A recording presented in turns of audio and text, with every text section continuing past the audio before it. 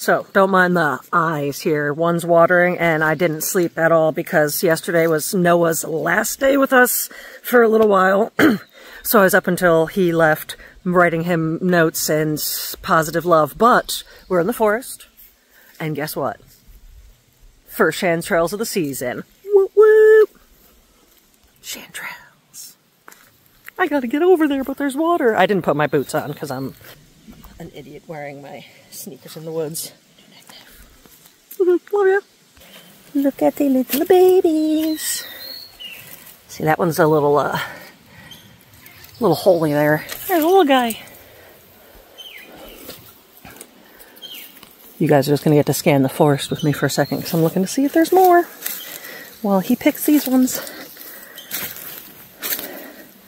But we are back in my favorite forest. Enjoying the chirpings. Looks like it's this little patch here. But a uh, good sign to almost immediately find some.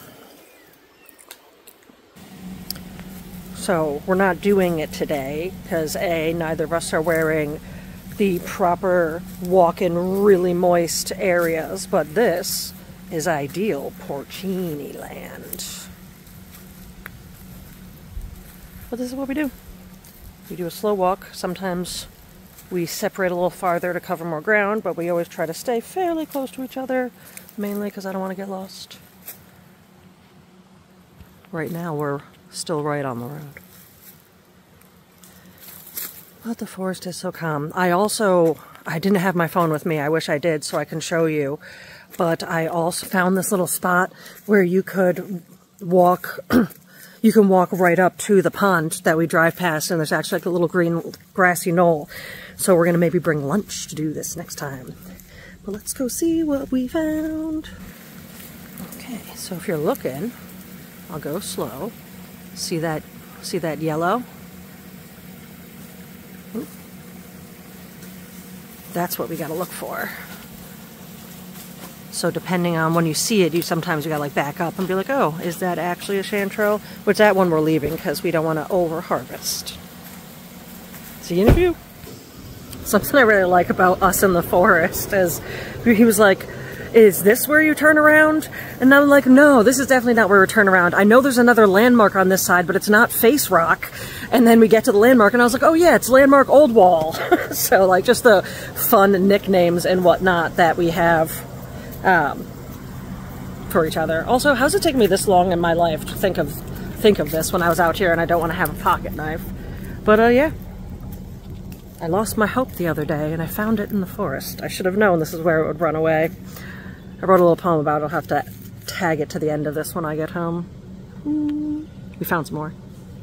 Oh yeah, that was the other thing. Was, he's like, oh, I found a bunch. And I was like, a, an I bring a bag a bunch? or just you bring a bag a bunch? So yeah, foraging lingo is fun. Okay. But alas, where we end our foraging journey, Mama G's property. This is halfway between her house and my house is on that end. And up here, right about there somewhere, we have a little, there's usually a little patch of um, chanterelles. Craig's up there getting them because I don't have the shoes to walk up there. I wore I wore the worst sneakers today because I wasn't wasn't planning on. I don't know, but um, yeah. This is the end of our foraging journey. I will take a short video to show you how much we got because it was a score, and uh, also try to remember to add that little poem that I have to update since I found my hope in the forest. Love you. That's part of it. Then we have some we still have to check for making sure they're not too buggy. And then they go over to, uh, trying to not move the camera too much. Then they go over to the sink where we give them the final rinse off. So they look more like this.